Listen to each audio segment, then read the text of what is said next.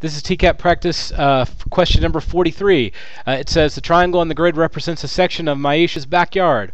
What is the closest to the length of side H in this triangle? Now they give you that box again that shows you a squared plus b squared equals c squared. So I'm going to write it out over the side here. Now in this case I'm going to look for a right angle which is right here and then I'm going to touch that right angle with my finger. I'm going to represent that by putting that little green dot there.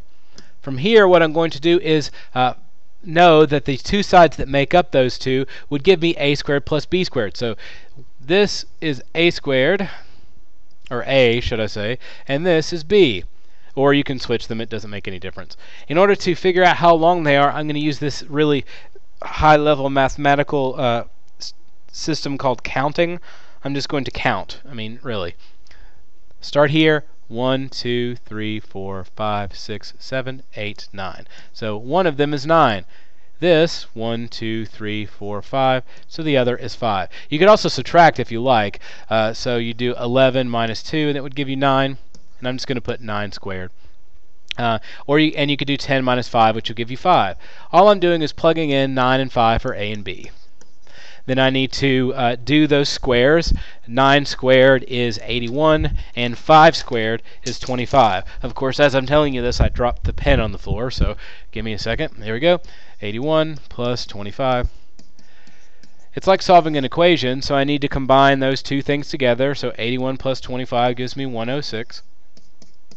And if you've seen any of the videos, the last step is always to take the square root. And the reason for that, again, is because this the equation only works because we're talking about the squares created by the two sides, or by the three sides. So the, this huge square and this square will fit perfectly inside this big square here. Uh, in order to, but I'm not looking for how many one by one boxes there are inside this square, which would be what the 106 represents. Instead, I just want the bottom part. And the bottom part of any plant is called a root.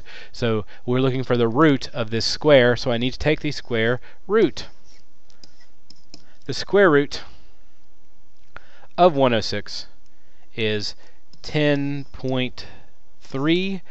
So my answer is B. Pretty simple. Just write the formula down and plug it in.